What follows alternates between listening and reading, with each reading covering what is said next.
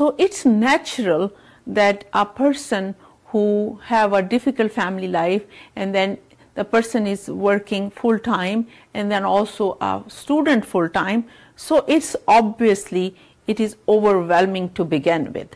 So it's it's normal to get nervous it's normal to get anxious but we need to before we uh, label a big diagnosis, uh, we need to maybe sort out some life things. Maybe we need to sort out how, which thing we can, uh, um, which thing we can actually avoid. Uh, maybe we can have some uh, family life uh, which maybe we can sort out if we can do anything better.